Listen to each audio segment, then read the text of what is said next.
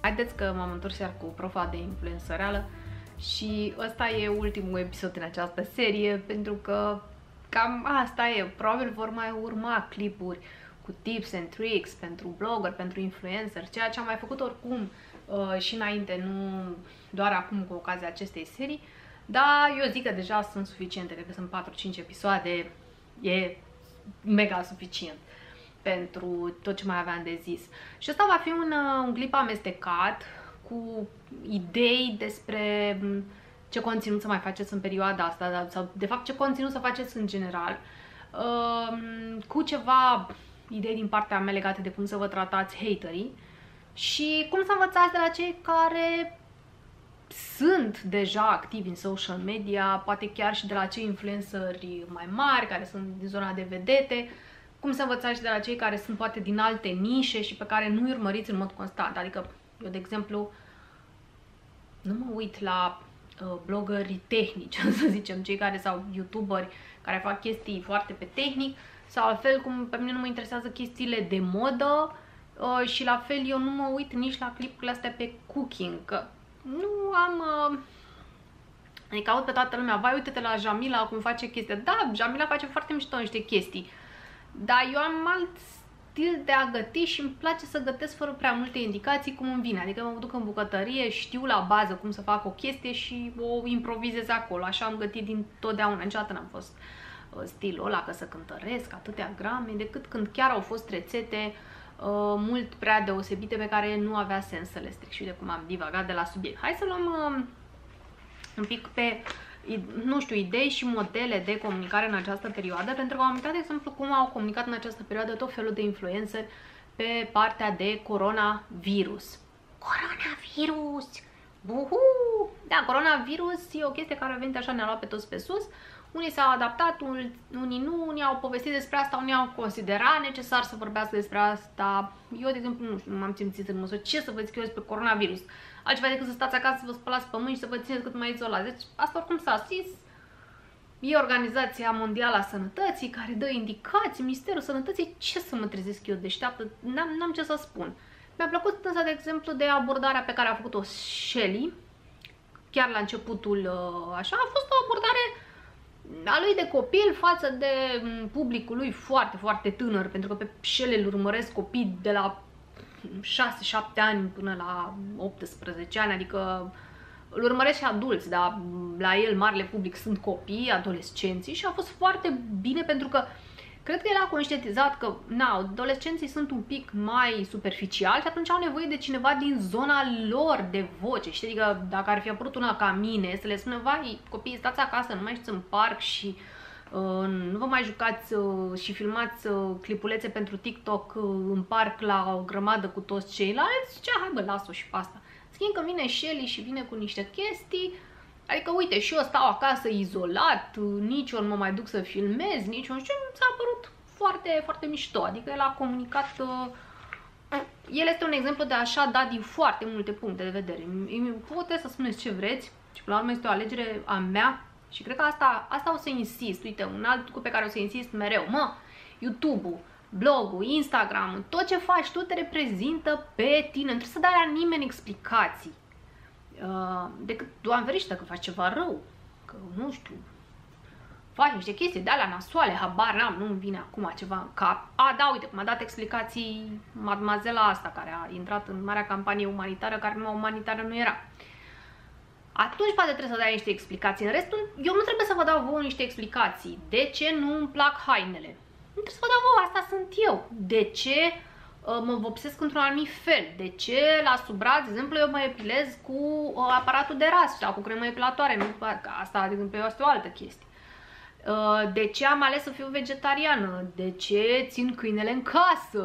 De ce am atât de animale în casă? Astea sunt niște chestii ale mele. Le luați la pachet dacă ați intrat pe canalul Beauty Barometer, Alane Maria Tătucu Semu, adică eu sunt, le vedeți aici, asta sunt eu, adică eu nu sunt de acord cu chestia aia să te schimbi de dragul fanilor, la modul cel mai sincer. Nu, asta sunt, asta voi fi. Uh, și așa cred că asta este o abordare pe care trebuie să o aveți uh, atunci când vă deschideți un, uh, un canal de, de orice fel. Adică eu dacă sunt roz, trebuie să fiu roz în orice context, înțelegeți? tu oricum ești roz în orice context, adică tu și... Doar că dacă dau acum, știi, să fac un fragment alb-negru, atunci o să te vezi și tu gri. Oh, gri!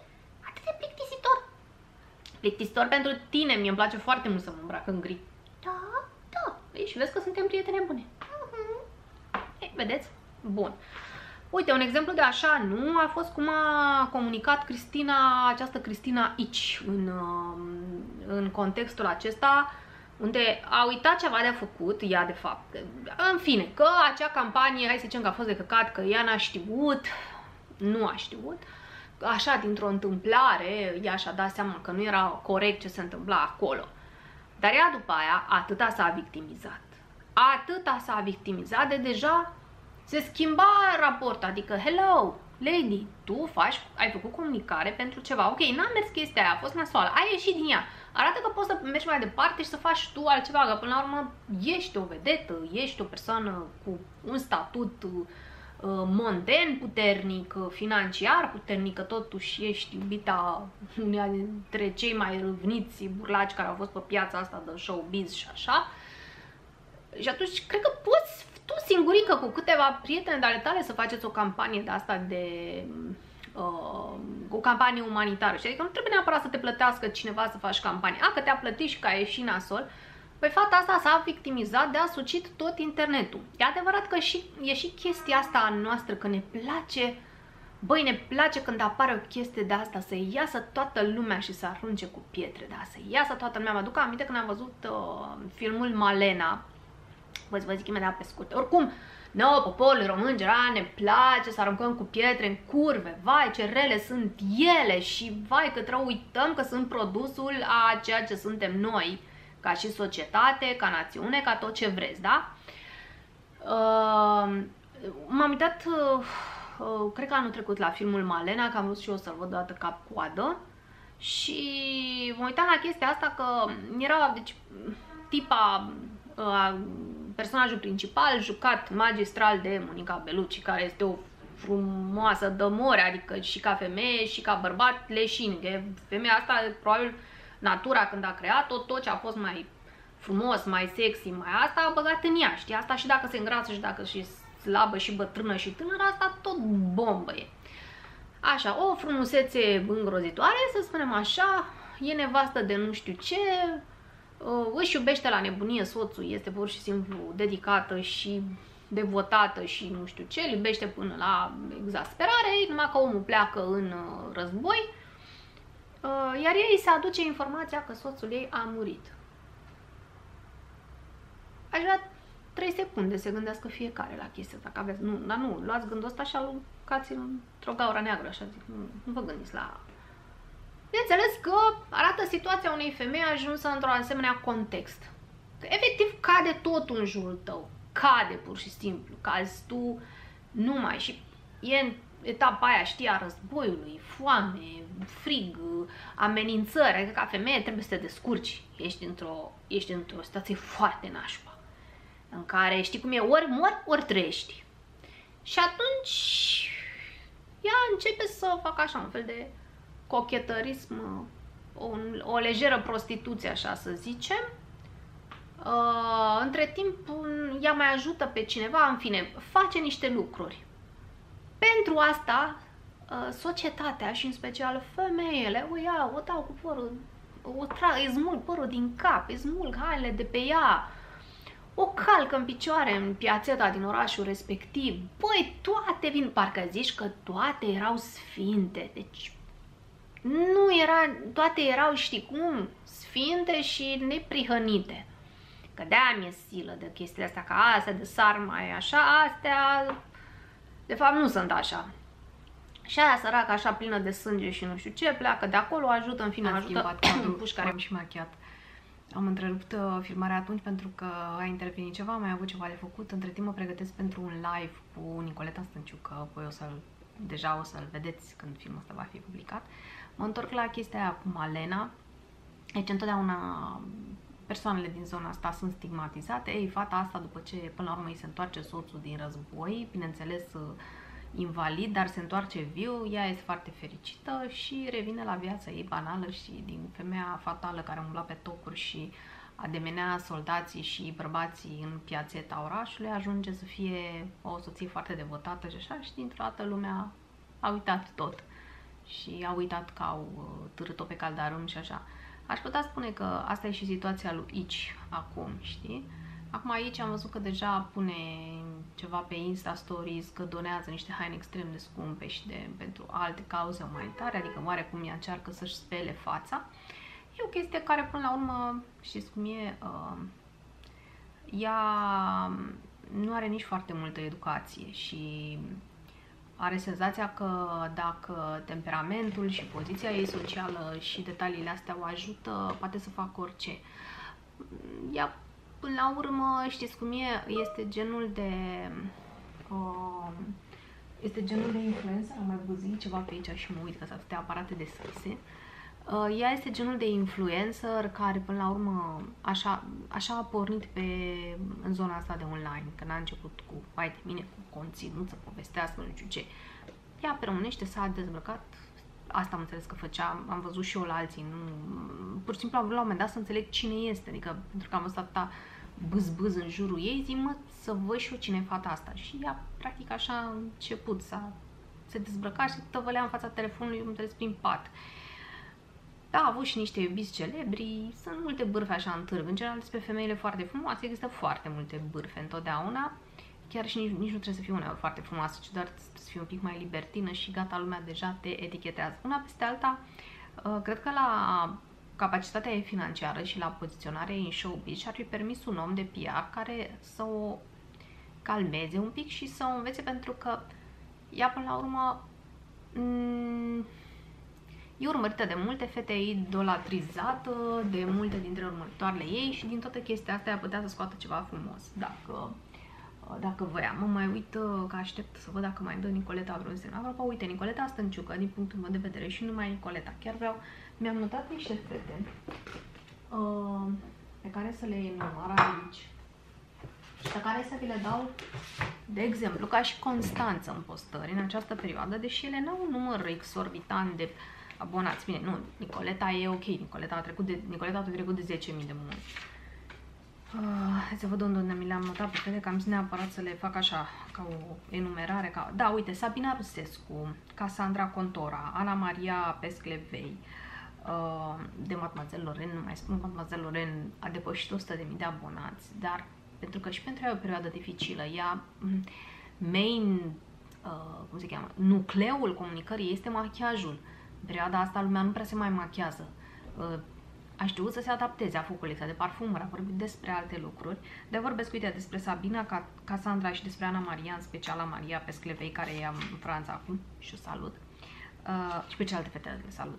Uh, au făcut în așa fel încât să, să-și mențină ritmul, chiar dacă eu știu, pe noi acum indicatorii aceștia din uh, YouTube-ul și to- toți metrici ăștia ne afectează, adică ne dau în jos mai exact. Da, și ele merg înainte. Uite, astea sunt niște exemple de, de fete care își construiesc conținut și merg înainte. La Cassandra Contora chiar am um, comentat uh, acum ceva vreme și eu spun și aici, îmi place foarte mult cum a evoluat ea ca imagine, conținut, mesaj, e și un pic uneori ironică, e și comică, e și... îmi place foarte mult și variază, dar rămânând în aceeași zonă. La, la Sabina, de exemplu, îmi place că ea a atins subiectul ăsta cu cărțile. Uite, eu am tot zis că fac și eu un chestii despre ce cărți citesc. Mi-am seama că asta o să fie plictisitor și o să-mi tragă în jos uh, masiv uh, riciul canalului meu și așa nu foarte uh, încântător, ca să spun, în această perioadă, nu numai pentru mine, ci pentru toată lumea, deși lumea stă pe internet. La momentul ăsta se consumă mai mult conținut de de distracție, de chiar și de prosteală, pentru că lumea nu mai... E, e, trăim oricum, acum știind o perioadă asta cu o presiune, nu mai vrem alte chestii, știi? Vrem ca intelectul să fie lăsat mai, la, mai pe simplu. Hai să atac un pic și problema haterilor. Hmm. Haterii sunt un semn bun. Știu, o să spuneți, hai mă bune, da. Ei sunt un semn că tu faci lucrurile uh, foarte natural și uman. Uh, e ceva neregulă când toată lumea te place, când toată lumea spune, vai ce drăguță ești, ce cutie, ce nu știu ce. Asta înseamnă că parcă ești genul care atrage tot timpul complimente de alea de copil mic și neajutorat. uh, și că ai un conținut uh, călduț, adică nu prea așa. Uh, Acum am înțeles că există și moda asta, sunt influenceri mari care uh, nu își lasă comentariile negative, adică nu mă refer nici măcar cele care spun, știi, nu prea îmi place cum, adică chestiile astea spre frumos, nu. Sunt influencer care am înțeles că își lasă pe YouTube sau pe Instagram sau numai comentariile care să spună ce minunată ești, ce superbă, vai, nici nu am putut să dorm azi noapte dacă nu vedeam clipul tău și mai departe. Apropo, să vă, să vă temeți și de genul ăsta de comentarii și sunt de obicei fanaticii nu sunt un semn bun, pentru că vă hrănesc cu un orgoliu al vostru care nu se vă ajută la nimic. Da, e plăcut să primești complimente, dar când sunt complimente prea siropoase, eu, de exemplu, am și o... Adică mie când începe să-mi spună lumea, vai, că ești minunată, că ești... Bine, eu oricum am ca reglat chestia asta cu marea majoritate a abonaților mei care mă cunosc și știu că nu... Um, chiar pot să spun că mă, mă, mă deranjează mai mult asta decât mesajele de hate. Ce nu-mi place, de exemplu, la mesajele de hate și ce vă recomand, poate și vouă să faceți, nu știu eu, o idee. Uh, dacă e un mesaj de critică construit cât de cât decent, adică nu aveți prea multe cuvinte cu p, cu f, cu amenințări, cu nu știu ce, lăsați-l și eventual puteți să-i construiți un răspuns. Eu am ales varianta de a lăsa, de a lăsa mesajele de hate, de a lăsa comentariile. Uh, mesajele cu critică constructivă nu le consider de hate. Atenție, deci dacă cum a fost cineva care, a spus, care mi-a zis că tot folosesc spun ca și în loc de ca sau pe mai zis cineva ceva, nu mai știu. Au mai fost niște chestii astea, nu, chiar am mulțumit pentru că e un tic al meu verbal și mă bucur când cineva mă corectează. Dar când uh, intră cineva în mod abuziv cu comentarii legate, um, a fost la un moment dat uh, un mic, o mică chestie, uh, s-a legat cineva, eu am niște puncte acolo pe perete sus, ca idee, sunt niște magneți. Magneți pe care ne ținem acolo pentru că avem o structură metalică sub zid și ne mai își mai prinde copilul meu câteodată acolo hârtii, nu știu ce, de sunt niște magneți, nu sunt niște găuri. Ei, de la chestia aia a pornit la un moment dat uh, așa un vibe neplăcut în comentarii că ce mă dau eu cu atâtea parfumuri și cu nu știu ce, că la mine în casă e nevăruit, că sunt găuri, nu ce, nu, este văruit, asta este culoarea. Uh, noi nu am, eu n-am vrut să văruiesc cu alb, am vrut un bej, n-am vrut albul ăla de spital. Eu nu mă simt bine în, în casele alea văruite alb complet. Și aia a fost. Adică ă, așa e la noi pe pereți și este văruit de 2 ani. Adică eu nu cred că e cineva pe lumea asta care vrea să vărească în fiecare an, cam la 5-6 ani, depinde la fiecare cum se așa. Și a fost o chestie foarte neplăcută, am lăsat câteva mesaje, apoi deja persoana respectivă care hrănise chestiile astea devenise extrem de agresivă și vorba extrem, extrem, extrem de urât. Adică pus acolo cu niște paradigme de alea care nu, nu le las acolo odată pentru mine, dar nici pentru cei care mă urmăresc în mod constant. Adică eu vreau ca oamenii care intră la mine pe canal să simtă relaxați, nu să citească mizerii.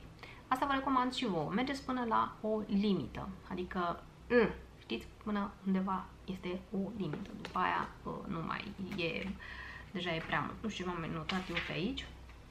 Bine, asta a fost uh, ultimul episod din seria Profa de influență reală. Bineînțeles că putem continua în privat uh, discuțiile și meditațiile, așa cum v-am mai zis. Chiar apropo, am avut uh, deja prime sesiuni de meditație și au fost foarte mișto. Mă bucur foarte mult când pot să dau feedback. Uh, mă bucur mult când uh, discut cu oameni care sunt la început și care au curaj și care nu se tem de cifrele mici, pentru că cifrele mici nu înseamnă neapărat că sunt slabe. Sunt niște cifre mici. Uh, mai vorbeam o dată cu cineva și care îmi spunea, băi, una este să ai 100.000 de urmăritori sau nu știu, care sunt acolo, doar dau like automat și una este să ai 50, să zicem, dar care se implică, care vorbesc, care spun, uh, care reacționează la ceea ce faci tu, este mult mai, uh, să zic, uh, mai valoros și mai plăcut uh, pentru tine ca și influencer. Bun, uh, ăsta a fost ultimul episod, uh, sper că a plăcut, lăsați-mi în comentarii, lăsați-mi ce credeți voi acolo ca și uh, idei din partea voastră. Și eu promis să mai vin totuși la din când în când cu clipuri tips and tricks și să mai iau și pe Rozica. Rozica are Știți cum e, cu ea am început, cu ea termin, spor la influență reală.